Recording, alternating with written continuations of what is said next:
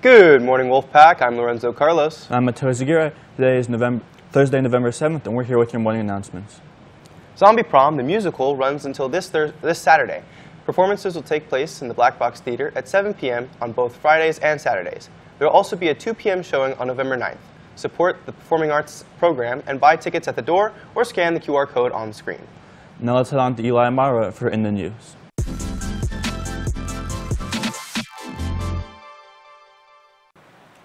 Good morning, Wolfpack. My name is Mara Schantz. And I'm Eli Fisher Fernandez. We're here with your news update.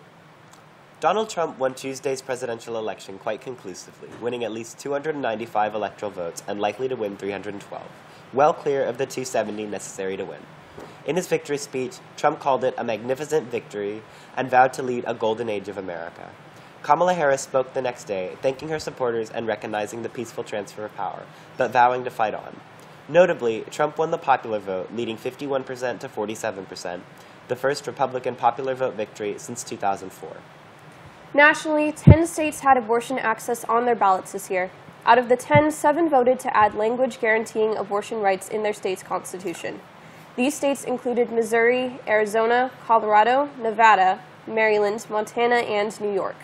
Missouri had one of the strictest abortion bans prior to the election, but voters have just approved an amendment that will guarantee abortion access up to the point of fetal, fetal viability, generally around the 24th week of pregnancy.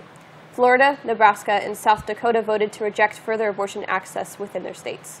In California, Democratic Representative Adam Schiff was elected to the U.S. Senate, defeating Steve Garvey. So far, Bobbie Singh Allen is in the lead for mayor of Elk Grove with around 68% of the vote. The House is still being counted.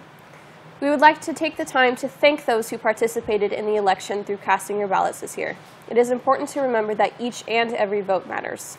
Thanks for tuning in, Wolfpack. I'm Eli Fisher Fernandez. And I'm Mara Schantz. Let's go back to the anchors.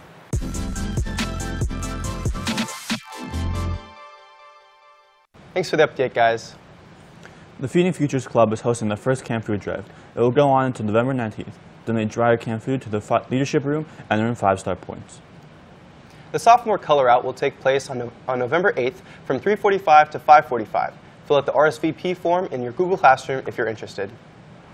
Friendly reminder that today is a minimum day. Here is our schedule to take a picture of on the screen, or you can find the schedule on the school website and your, and your Synergy email.